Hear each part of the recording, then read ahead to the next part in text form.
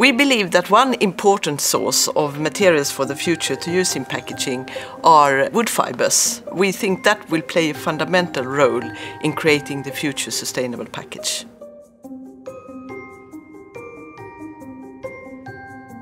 We're at the MAX IV laboratory in Lund in Sweden. So MAX IV is the first fourth generation synchrotron in the world. Uh, we have pushed the development of how we build these facilities and we're providing an extremely brilliant X-ray source. We have, together with MAX IV, identified certain uh, technology areas where we believe, both MAX IV and us, that we could have great use of these facilities. And uh, in connection to that, we also collaborate with other departments at Lund University and other universities in Sweden and elsewhere. I work uh, a lot with the contact of food and the processing equipment, meaning that uh, when you have food uh, in uh, equipment, it will interact at the surfaces in different ways, create corrosion, and corrosion is uh, something that we specifically studied here at the MAX IV synchrotron. In this tube we see here transports the X-rays from the X-ray source through to our experimental station where our sample sits. We have access to some of the best X-ray neutron beams in the world and that means that we're able to dive deeper into the material at, higher resolution to understand the, the finer details of the processes.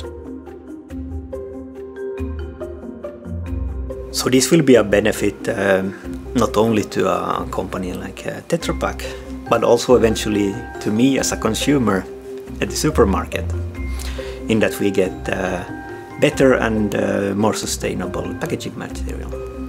It is important, like in a journey like sustainability, where we want to change a lot of things at the same time, that we also create an understanding, a deep understanding of the technical system.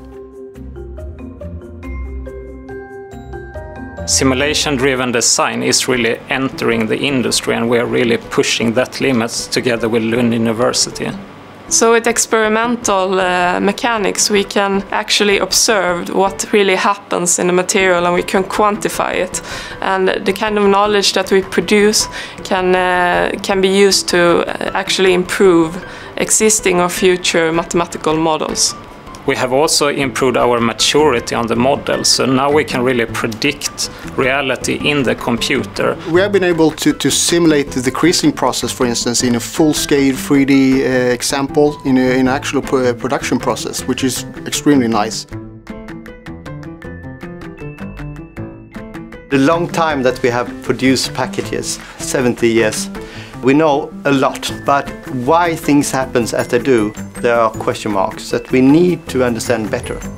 And we think by using simulation, we can get into a deeper understanding than we have today. And that will help us when we introduce new materials, new paper properties that is still on research floor today.